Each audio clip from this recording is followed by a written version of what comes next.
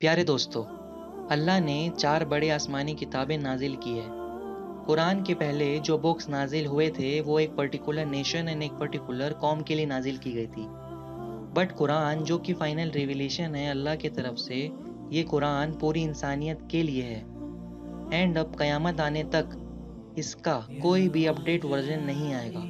Quran is the final revelation Allah ने हज़रत मूसा सलाम को तौरात दिए।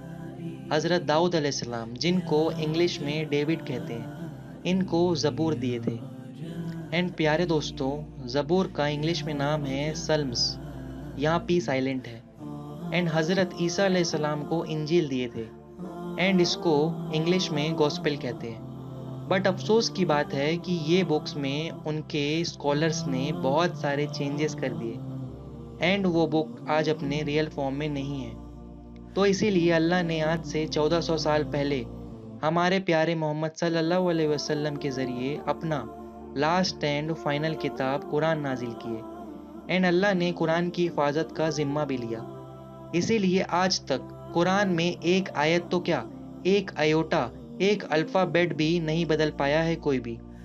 मैं आपको एक इंटरेस्टिंग फैक्ट बताता हूँ। देखिए, अगर आप मुस्लिम हैं तो आप ये मानते होंगे कि हज़रत ईसा सलाम को अल्लाह ने आसमानों में उठा लिया है। और दज्जाल को जब रिलीज़ किया जाएगा, जब उसका एंड करने के लिए हज़रत ईसा सलाम को भेजा जाएगा, तब ना हज़रत ईसा सलाम इंजील के हिसाब से नहीं, उनको भी कुरान के हिसाब से चलना होगा। एंड हज़रत ईसा भी हमारी तरह नमाज़ पढ़ेंगे। एंड लोगों को कुरान एंड हदीस के हिसाब से ही गाइड करेंगे। तो प्यारे दोस्तों कमेंट में बताइए कि आज आपको कौन कौन सी न्यू बातें सीखने को मिली। एंड इसी तरह की इस्लामिक फैक्ट्स रिलेटेड वीडियो देखने के लिए हमारे चैनल को सब्सक्राइब करें। एंड बेल आइकन को भी ज़रूर प्रेस कीजिएगा, ताकि हमारी ऐसी मालूमती वीडियोस आप तक टाइम टू टाइम पहुँचे।